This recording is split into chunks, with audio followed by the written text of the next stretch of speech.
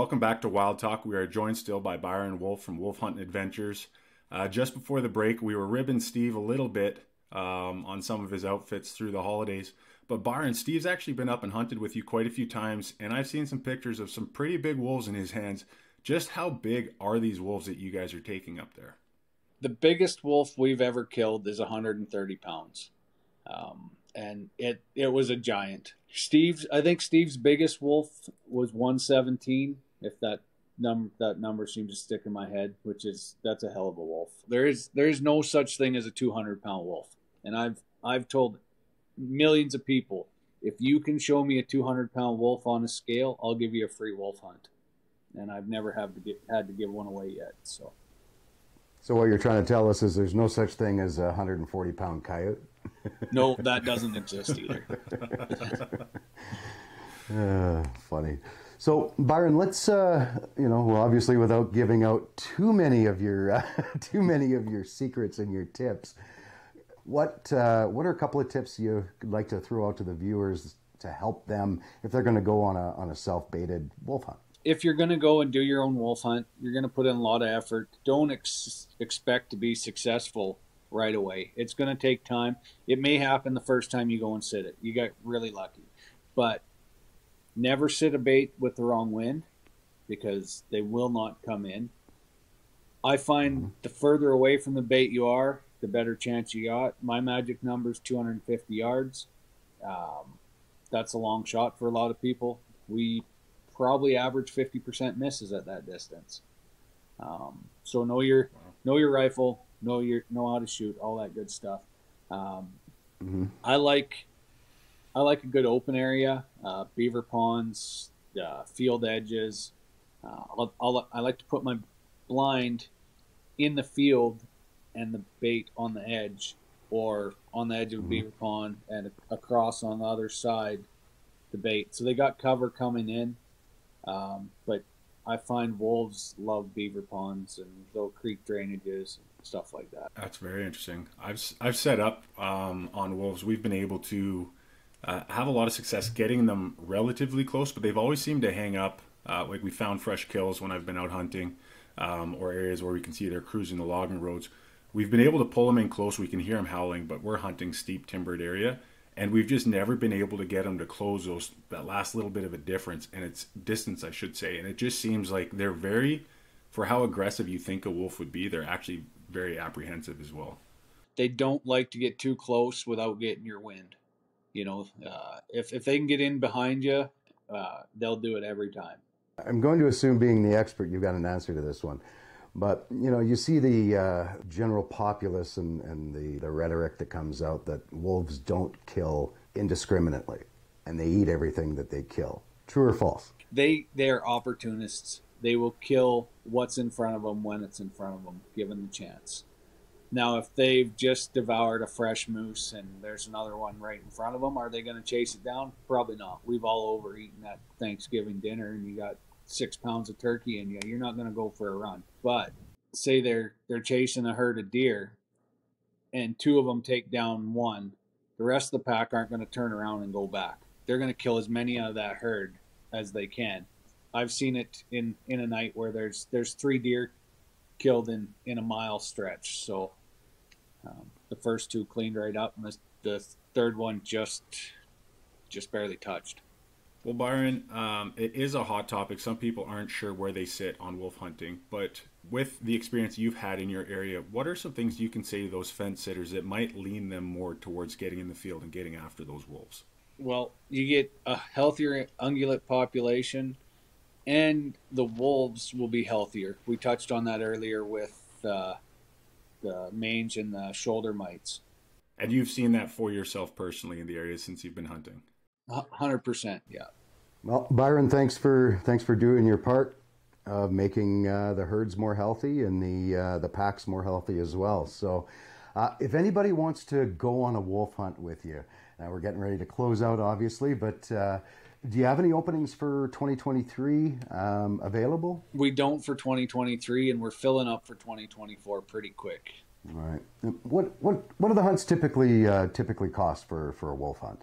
So we're we're fifty five hundred dollars for a six day hunt, um, and uh, Okay. I could say that's the price for 2024, but I can't guarantee it for 2025. Um, you know, fuel is outrageous, so yeah, you're telling me. a lot of fuel and costs in a wolf hunt.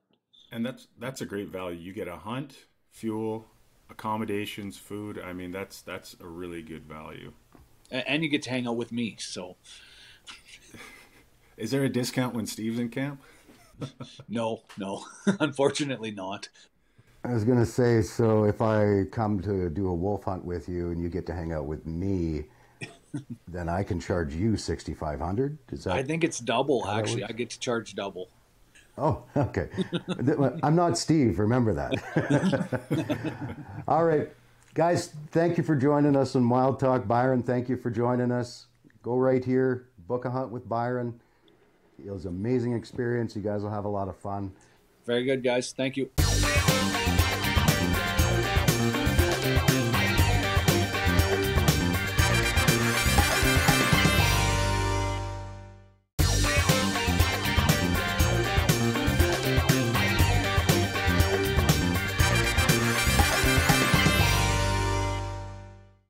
You've ever wanted to do a wolf hunt in Alberta, Canada, you've ever done any research and ever been on social media looking for wolf information, you'll recognize the name Byron Wolf from Wolf Hunting Adventures.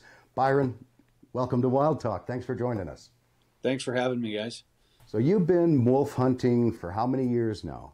we did our very first wolf hunt in 2014. Uh, it was kind of a crazy experience, uh, how it all happened. I, I kind of poached a seat on an airplane and uh, ran into another hunter, and he was from Colorado, and he wanted to hunt wolves, and I wanted to go to Colorado and hunt elk. So we traded hunts. A chance encounter on a flight that you're not supposed to be on has turned into you running one of the largest uh, wolf hunting organizations in northern Alberta. How did you even go about working out that first hunt? How did that all play out? we had almost a year to to get ready for it. It was a bunch of learning, and what I if I look back and see what we did then to what we do now, and wow, I can't believe it actually worked. We did kill wolves on that hunt, but I mean, it. Uh, I wouldn't wouldn't try to operate that way again. well, let's let's fast forward to uh, today, Byron. You guys run what? I think it was 40 hunters a year. Yeah, we're we're going to be over 40 hunters this year.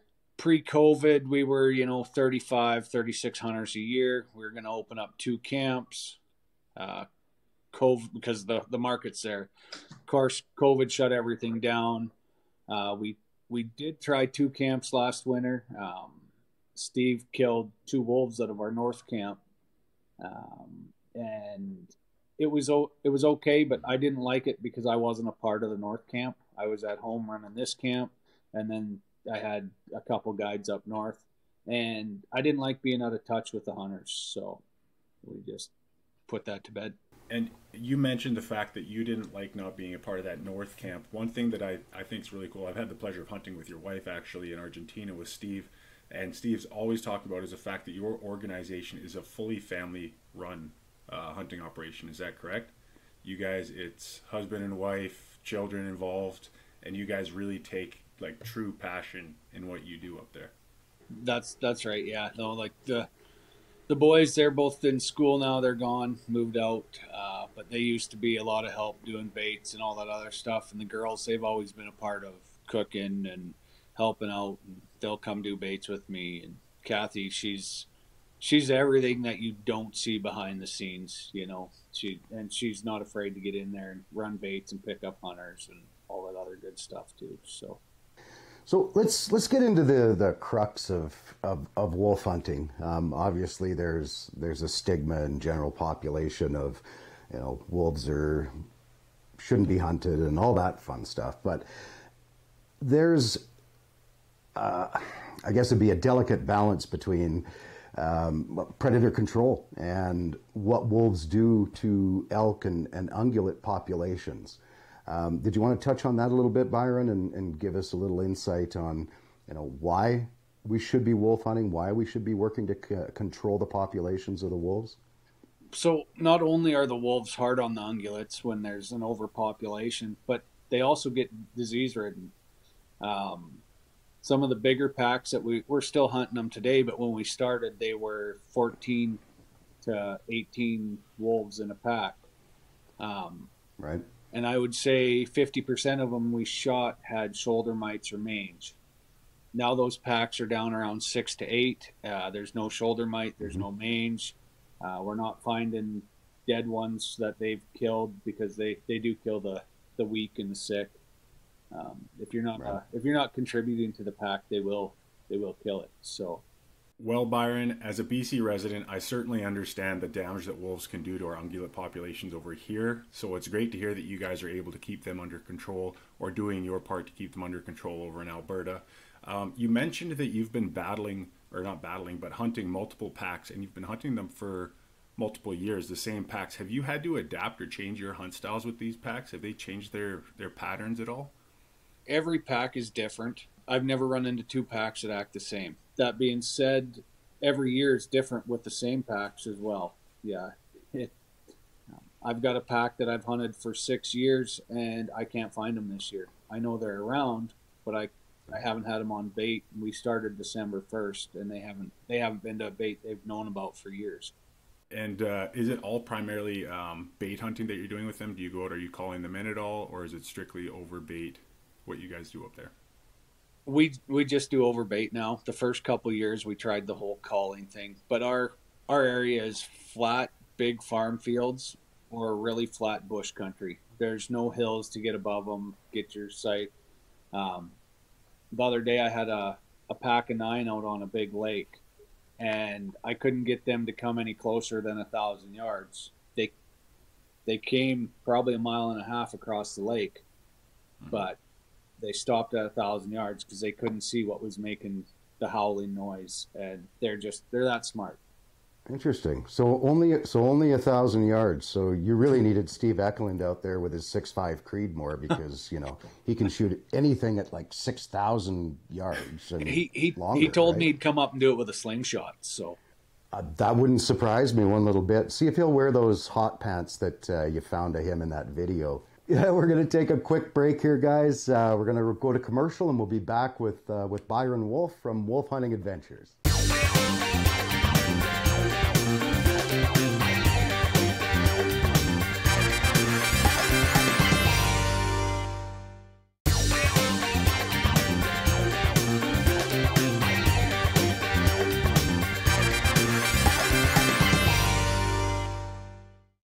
Welcome back to Wild Talk. We are joined still by Byron Wolf from Wolf Hunting Adventures.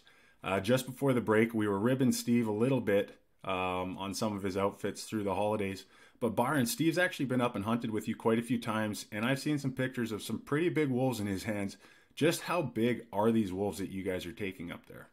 The biggest wolf we've ever killed is 130 pounds, um, and it it was a giant. Steve's, I think Steve's biggest wolf was 117 if that number that number seems to stick in my head, which is that's a hell of a wolf. There is there is no such thing as a 200 pound wolf, and I've I've told millions of people if you can show me a 200 pound wolf on a scale, I'll give you a free wolf hunt, and I've never have to get, had to give one away yet. So. So what you're trying to tell us is there's no such thing as a 140 pound coyote. no, that doesn't exist either. uh, funny. So Byron, let's uh, you know, well, obviously, without giving out too many of your uh, too many of your secrets and your tips, what uh, what are a couple of tips you'd like to throw out to the viewers to help them if they're going to go on a on a self baited wolf hunt? If you're going to go and do your own wolf hunt, you're going to put in a lot of effort. Don't ex- expect to be successful right away. It's going to take time. It may happen the first time you go and sit it. You got really lucky, but Never sit a bait with the wrong wind because they will not come in. I find mm-hmm. the further away from the bait you are, the better chance you got. My magic number is 250 yards. Um, that's a long shot for a lot of people. We probably average 50% misses at that distance. Um, so know your know your rifle, know your know how to shoot, all that good stuff.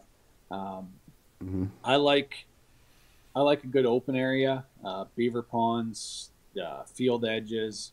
Uh, I'll, I'll, I like to put my blind in the field and the bait on the edge, or on the edge of a beaver pond and across on the other side the bait. So they got cover coming in, um, but I find wolves love beaver ponds and little creek drainages and stuff like that. That's very interesting. I've I've set up um, on wolves. We've been able to uh, have a lot of success getting them relatively close, but they've always seemed to hang up. Uh, like we found fresh kills when I've been out hunting, um, or areas where we can see they're cruising the logging roads. We've been able to pull them in close. We can hear them howling, but we're hunting steep timbered area, and we've just never been able to get them to close those that last little bit of a difference, and it's distance, I should say. And it just seems like they're very, for how aggressive you think a wolf would be, they're actually very apprehensive as well. They don't like to get too close without getting your wind. You know, uh, if if they can get in behind you, uh, they'll do it every time. I'm going to assume, being the expert, you've got an answer to this one. But you know, you see the uh, general populace and, and the, the rhetoric that comes out that wolves don't kill indiscriminately, and they eat everything that they kill. True or false? They they're opportunists. They will kill what's in front of them when it's in front of them, given the chance.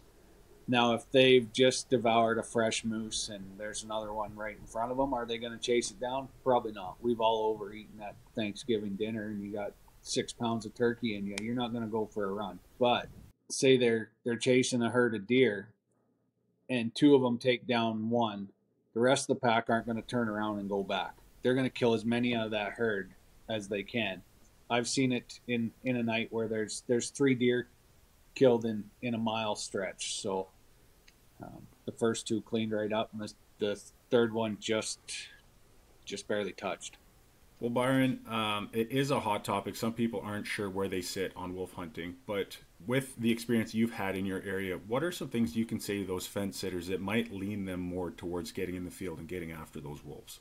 Well, you get a healthier ungulate population, and the wolves will be healthier. We touched on that earlier with uh, the mange and the shoulder mites. And you've seen that for yourself personally in the area since you've been hunting. Hundred percent, yeah. Well, Byron, thanks for thanks for doing your part of making uh, the herds more healthy and the uh, the packs more healthy as well. So, uh, if anybody wants to go on a wolf hunt with you, now we're getting ready to close out, obviously, but uh, do you have any openings for 2023 um, available? We don't for 2023, and we're filling up for 2024 pretty quick. All right. What what what do the hunts typically uh, typically cost for for a wolf hunt? So we're we're fifty five hundred dollars for a six day hunt, um, and uh, okay. I could say that's the price for twenty twenty four, but I can't guarantee it for twenty twenty five. Um, you know, fuel is outrageous. So yeah, you're telling me. a lot of fuel and costs in a wolf hunt. And that's that's a great value. You get a hunt, fuel, accommodations, food. I mean, that's that's a really good value. And, and you get to hang out with me. So. Is there a discount when Steve's in camp? no, no, unfortunately not. I was gonna say, so if I come to do a wolf hunt with you and you get to hang out with me, then I can charge you sixty five hundred. Is that? I think it's double. Actually, I get to charge double. Oh, okay. I'm not Steve. Remember that. All right, guys. Thank you for joining us on Wild Talk. Byron, thank you for joining us. Go right here. Book a hunt with Byron. It was an amazing experience. You guys will have a lot of fun. Very good, guys. Thank you.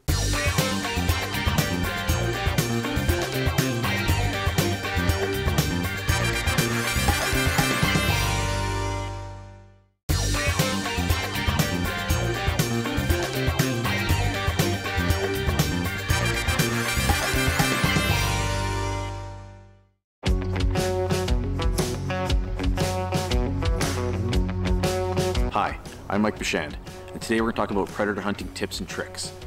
We're going to focus on locations. So, location is obviously where you want to go hunt coyotes. Just thinking an area might hold coyotes is not necessarily good enough. Go out and scout. Scout your private permissions, scout crown land, make note of where you saw coyotes during hunting season or during any time of the year. Uh, when you're out, look for fresh signs, so scat, kills. Look for tracks that are heading from dens to bedding or to hunting areas. Make note of all those things. Those will make a huge difference when you actually get out there and are after them, and you'll have a more success calling them in because you've already located where they are. So one thing you want to look for when you're goat coyote hunting is you want to scout properties and find fresh signs like you would for whitetails, same thing for coyotes. So fresh sign, coyote scat. So probably from last night, doubt is from this morning, it's cold, but here's fresh sign right there. At least you know you're on the right track. Set up, a nice place to call, get to calling. Mature coyotes are very similar to mature whitetails. They're wise, they're experienced, they're a lot harder to kill.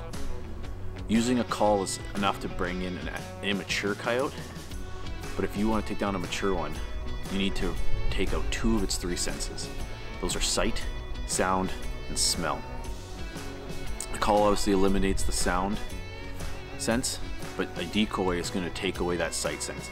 Decoys will distract their attention, allowing you to be able to do whatever you need to do, and having them rush that that decoy and that call.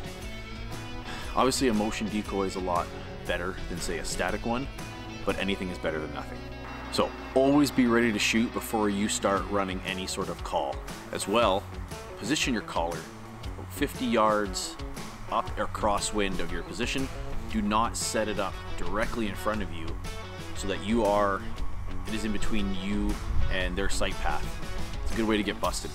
As well, consider having it set up so that they don't cross your scent path as it as it's coming. Like you don't want them running towards that caller and hitting your scent trail because they're obviously going to bust, right? So you kind of give them that wind advantage, but have the caller set up so that they're going to hit the caller before they hit you. Okay, so we're setting up uh, the electronic call with an external speaker and a motion decoy that's already pre-attached to it. Shoot down to that far tree line and then calling into here. I'm gonna be set up right there. A lot of these calls, including mine, come with either an attachment to it or they come with a motion decoy. And what I'll do is I'll run the call without the decoy to start with, and when I see them approach, I'll flip the decoy on and times the ones that hang up. That'll only be enough to draw them towards that. So, okay. We're gonna go pull the toboggan over to my spot and we'll get set up for calling. When you get set up and you start running your calls, don't start running it on max volume. A lot of times you're gonna trigger that fight or flight response and more likely you're gonna get that flight response and they're going to take off because all of a sudden out of nowhere they're getting this extremely loud. You wouldn't do that necessarily calling elk and you wouldn't do it calling whitetails. You're going to use soft calls to start with in case there's anything close and then you'll go loud, right? And same thing with coyotes. Start off quietly, up the volume with your hand calls or your e-caller.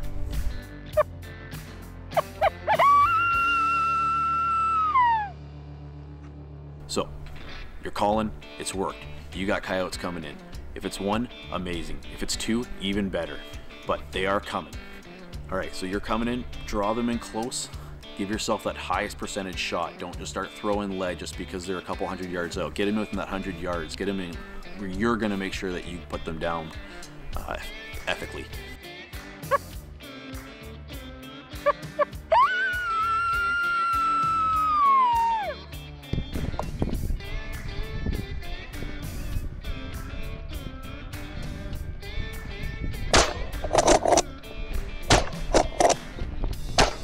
was able to call in a coyote with uh, cage cottontail. Um, pulled it from a big wood pile a couple hundred yards away. Uh, I was I had the caller set up behind me, and you'll, you'll hear it in the Tactacam. I'm hoping the caller's behind me. I'm sitting in a wood pile, um, and it's coming at me. It's she. She's coming right at me. Uh, I was gonna shoot her with a rifle, but I realized how close she was getting. So I put the rifle down, picked up the shotgun, and uh, put her down. I think I missed the first shell, um, but she made a hard left my direction, which was a bad choice. And I was able to hit her with the next two, put her down pretty quick. So we have a success. At least one dog down. Uh, color stands obviously were a bust. Fortunately, again, that happens. I hope the tips work for you. Um, as they have worked for me, tactics I use, and uh, good luck out there.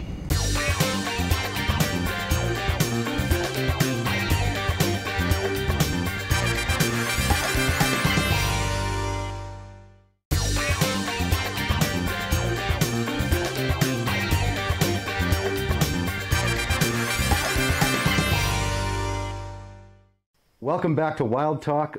Now we have the host, the man, the myth, the legend, Wes David from Fishing the Wild West TV show. Wes, thanks for joining us today. Oh, thank you, Scott, for having me. So, you have been in the television industry for how many years? Um, we are about to shoot our eighth season. Uh, prior to before we shot, like my rookie year, you know, we were learning it. I ha- I bought some cameras and just you know kind of learn how to do it. As you know, there's a lot of tricks that you behind the scenes that people don't realize to shooting a show. Even even the YouTubers, you know, they, they there's things they learn the hard way often. So started about two years before that, and then before we really got into to going to TV. Do you still compete in uh, walleye tournaments? No, um, due to the show, uh, time wise, uh, the time is just not there. Um, you may think, you know, being the host and producer of a fishing show, I get to come and go where I want, and that's not the case. Um, and when I am not on the road or on the water shooting the show, I'm doing stuff for magazines or conservation. When I'm not doing that stuff, I still have to be a husband and a father. So I, I, try to, as I get older, I try to spend as much time at home as I can. well, I can I can certainly relate to that. You know, when when we started with Wild back in the day, we thought that we were going to be able to hunt all the time. Not so much. no, and that's the thing. You know, a lot of people think, "Oh, I wish I I did what you do for a living." And um, as much as I love producing the show, uh, it's it's a lot of it's a job. It's there's like any other job. There's highs and lows. There's some extreme yeah. highs and lows. Um, there's times I want to be anywhere but there. But I can promise you this: I'm a heavy duty mechanic by trade, and getting up at four in the morning to go fishing is a lot easier than getting up and running a service truck. I can promise you that, especially when it's 20 below. I can relate. Trust me. so you uh, let's let's talk a little bit about Wes David. So you grew up in Beiseker, is that right? Yep, family farm. Grew up on a cattle ranch uh, in Beiseker, Alberta. Um, 40 minutes northeast of Calgary. Um, grew up there. My uh, dad, my aunt, or my uncles, Roy and Ron David, they were part of the chuck wagons. Uh, my dad was a calf roper. My mom was a barrel racer. So it didn't take me long to, or I was introduced to the rodeo world at a young age. Um, and as young as I can remember, like five, six years old, you know, we were riding calves or, you know, riding horse, whatever. And it graduated, I went to steer riding um, graduated to junior bull riding, then to bull riding, and fortunate to say that's all I did for a living till I was about 25, 26 years old, from 18 to 25 or 26. Now, when I say a living, I wasn't starving, but I wasn't getting fat either. I, was just, I was just just getting by. So it was, um, but it, rodeo taught me so much in life, uh, so much that I didn't realize I was even learning, like business wise, and and just to, you know, deal with people and be on the road and that sort of thing. And it was the biggest. That's the biggest reason why I got into tournament fishing. When I was done rodeoing, I missed the camaraderie of ro- actually I missed rodeo. I thought I missed, you know, the thrill of competition. So I started. I always loved fishing, so I started going to to walleye tournaments just to see see you know where I measured up. But what I found was I missed the camaraderie of rodeo, and I found that in the tournament world. Um, okay. Lots of friendly people there. You know, you, you fish all day and then, you know, have a beer in the evening. If someone's struggling, they may not give up their hot spot or their top secret, but they would definitely help you out. And it was, it was a really great community to be a part of. And then yeah. once you got your, your feet wet in the show, you said, okay, no more no no time to go do the walleye tour, and here we are today. So yeah, and that's but, right. And here I'm talking to you today. So let's let's talk about ice fishing, the hard water. It's uh, that time of year now. I'm actually going to be heading out uh, this weekend for Saturday and Sunday. What um, I don't know where where do we want to start? I think let's start with uh, your favorite your favorite time of year. My absolute favorite time for ice fishing is March, and I mean it's referred to across the prairie provinces of, as March Madness. It, it's just I don't know what it is. March Madness is truly a thing. You know, it turns the fish turn on. I think they're longer days. You know, a little more light penetration through the through the ice. They're they're anticipating the spawn, um, and it's just a great time to be on the water, especially for perch, walleye, and northern pike. Okay, and now there's also a uh, a disease that comes right around the end of March, right? Yeah, you'll uh, a lot of uh, employees will notice their uh, or employers will notice their employees get you know get a day or two flu, and it's really bad that they can't come into work because they're out ice fishing, especially Okay, last uh, week of March. We're going to jump to commercial, uh, Wes, here. So we'll see you folks when we come back uh, after this short commercial break.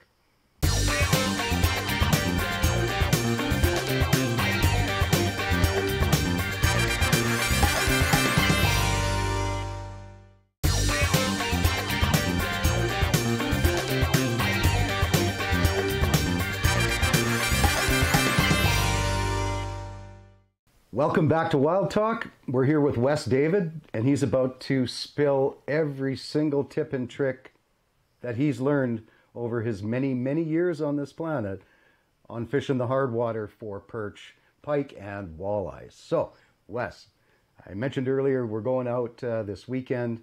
We're going to be going after perch and pike. Top three tips for each. Go. Top three tips: uh, be patient. Uh, is the is the be- biggest thing because it's not going to happen.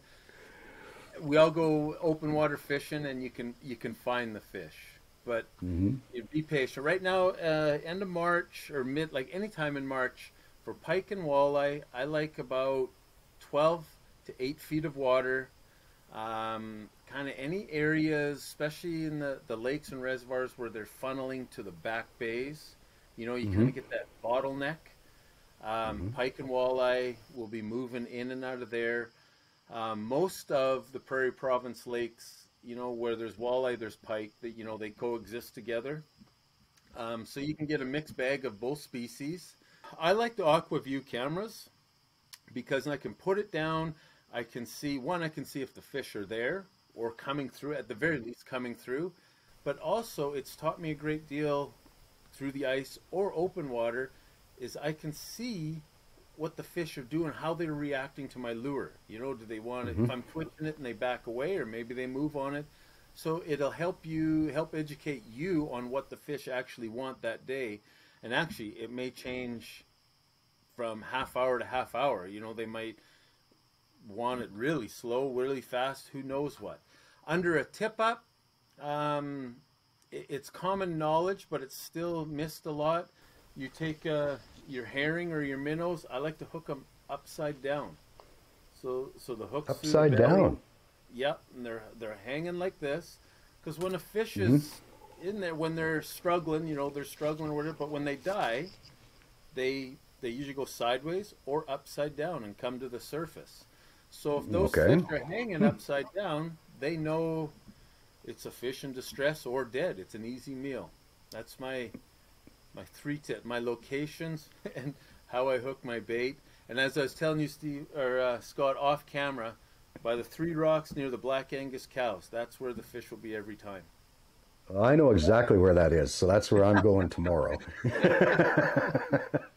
and you even brought props with you. That's awesome.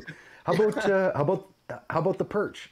That, you're the northern the northern lakes have some of the best perch. Southern Alberta reservoirs have some great perch fishing. Um, and the easiest thing I can say is perch will be where perch are at. I found them in 40 feet of water at this time of the year, and I found them in seven feet of water. Um, and your predator fish, like the pike and walleye, they'll often tell you where they are because they'll move in to feed on the perch. But that's a tough one. Perch are where perch are. Yeah, I've, I I drill many many holes to find them when I head out. Sometimes I get lucky on the first one, but that doesn't happen most of the time. So I get lucky on the first one usually because I have a great editor. Right, the magic of television. he had to count the other 30 holes that I've drilled. yeah, on battery number eight with my electric auger. Uh, yeah. But I found them on the first try. So we're we're we're getting down to uh, we're getting down to time, Wes. So thank you so much for for the tips. I, I want to talk a little bit about what you do for conservation because I know this is a huge part of your life, um, a huge part of your family's life too. Can you tell us, you know, just a few things that you that you do? Um, on top of that, I, I know you write uh, articles for magazines uh, along with the show, of course. Uh, that you have some great tips and great information in. Where can people find the articles as well? Um, yeah, I write for several different magazines. At one point, I was writing for like 30 different magazines, but now it's down to about eight or 10 just due to time. Hook magazine is one of my favorite magazines that cover fishing right across Western Canada. Um, I write for the popular Alberta Outdoorsman um, and several out of the U.S. Uh, uh, as far as conservation, conservation has always been important to me because I truly believe this, and I've said it on the show over and over. Farmers, or hunters, anglers, farmers, and ranchers are some of the best, if not the best, conservation-minded people out there. They take care of the animal. You want to know farmers? You want to know where deer are on a farmer's land? Ask him. He'll tell you where they are almost to the minute. And I truly believe it is hunters and anglers that that are some of the best and that need to give back. And I, it's never been more important right now than to get our youth involved in our hunting and fishing heritage. Are any of our viewers going to be able to find you out on uh, the hard water at any ice fishing tournaments or events here this year? Uh, no tournaments or events. We'll be filming in Saskatchewan here in a week. Um, and what, as I get a little older, I'm a fair weather ice fisherman. If it's 40 below, I don't even answer the door. but um, if, if you do see me out there, by all means, uh, come and say hi. Um, you see us at the boat launches this summer. Come and say hi. Fishing the Wild West TV wouldn't be possible if it wasn't for the viewers. Awesome. Well, Wes, thank you so much for joining us. And as always, I appreciate you and we look forward to seeing you out on the water. Oh, thank you for having me on the show. Greatly appreciated.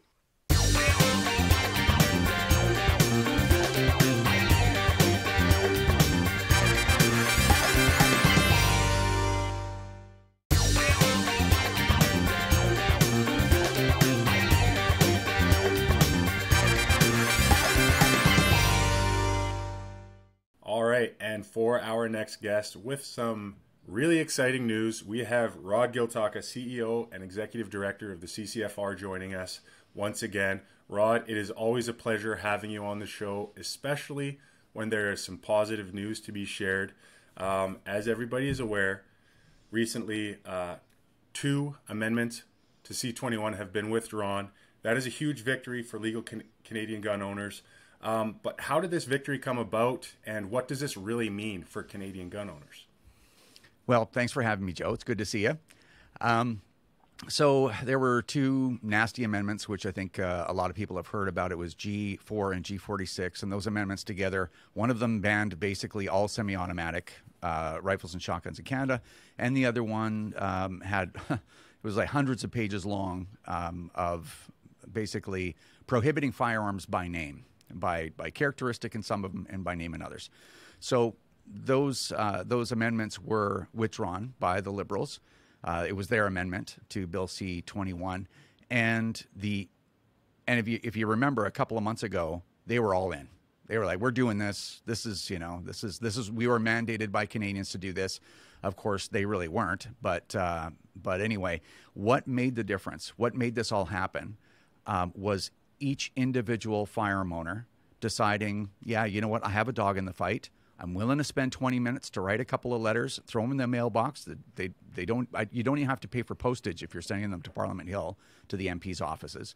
Uh, taking 20 minutes to call their MP, leaving a message for them, sending them an email, like small things, but a lot of people did it. So organizations like the CCFR and wildlife federations and all the rest provide some organizing influence. But at the end of the day, we're, we're meaningless if we don't have 50, 100,000, 200,000 people standing behind us doing just small things. So this victory belongs to every gun owner that took 20 minutes, took an hour, took two hours to do something about it. And I couldn't be more proud of our community. That that honestly just gave me goosebumps just thinking, um, you know, how many battles gun owners and us as hunters and everybody are constantly up against. Um, and sometimes it's difficult getting everybody on the same page. And I think it's due to the efforts of yourself and you know the CCFR getting everybody rallied together. But it is just so exciting to hear that our voice is being heard because sometimes um, I'm sure everybody feels it. We speak up, we speak out, and we aren't heard and we aren't listened to. So it's we are gaining traction. Um, but as you've mentioned, the battle is far from over. I mean, how many amendments are still coming down the pipe at us right now? So we, def- I guess, as a as a community, we defeated two amendments, and there's 93 more coming. So uh, when it comes to those amendments, uh, we don't know what they are yet. So right. when uh, when uh, parties submit these amendments to a bill, they are secret. They they enjoy parliamentary privilege or whatever they call it. I think it's confidentiality, but um, but anyway, they sit there on the books. The committee members know what, what's in them because they've read them, but they can't be released to the public until they're read into the record in the Public Safety Committee. So that committee, we keep an eye. We're we are present at every single meeting. We mm-hmm. record that meeting and upload it to our YouTube channel. So we we capture all that stuff. So as these amendments come out, we'll know exactly what's happening, and then we'll we'll come up with a, a plan uh, to to fight it if it's a bad amendment. So it's not over by a long shot. No, 93 is not a small number. A big victory for two. Um, as you mentioned, these were two very egregious amendments, but uh, 93, I'm sure there will still be some whoppers coming our way. Is there a timeline, a structured timeline for when they will be released? Or without knowing a timeline, what can we be doing in the interim to make sure that we're still putting our best foot forward and representing ourselves in the best way possible? Well, like I said, the the key to all this is a large group of people doing just a little bit, not a small group of people doing everything, but just just participate. Because I can't emphasize enough that you know we could have been working 24/7 been making all this noise. Same thing with wildlife federations and other organizations we are meaningless without gun owners participating a little bit. So if you're interested, you can go to scrapc21.ca. We got a bunch of tools there, scrapc21.ca. Um, there's tools to help you write a, a, short letter, and only has to be a couple of sentences to your MP. You can send it postage free to their Parliament Hill office. Uh, you can call your MP. We have tools to locate your MP there with a couple of clicks to get their contact information. It's really important. And also, there's a link there to see your MP's voting record. And that's really important too, because always deal with what they do. Forget about what they say because it's meaningless. Look at what they do. So.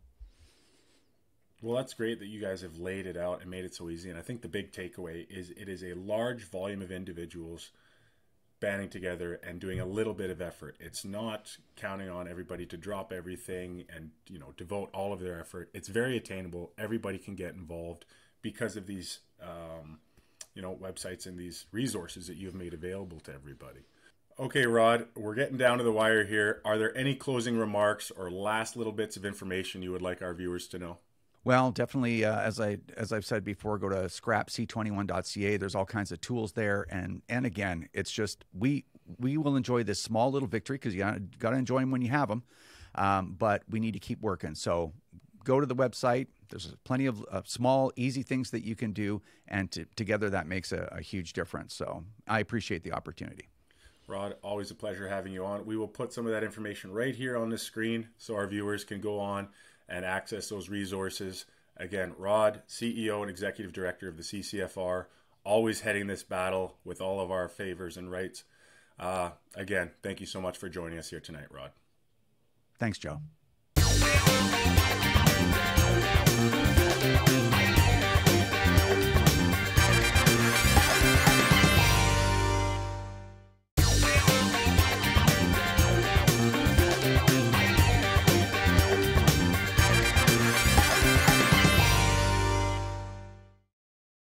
Well, there you have it, Scott. Right from Rod Giltaca. I mean, this was a big victory for legal Canadian gun owners here, but the battle is far from over. With over 90 amendments still coming down the pipe at us for review, yeah. Um, you know, again, we have to take this momentum and we have to run with it.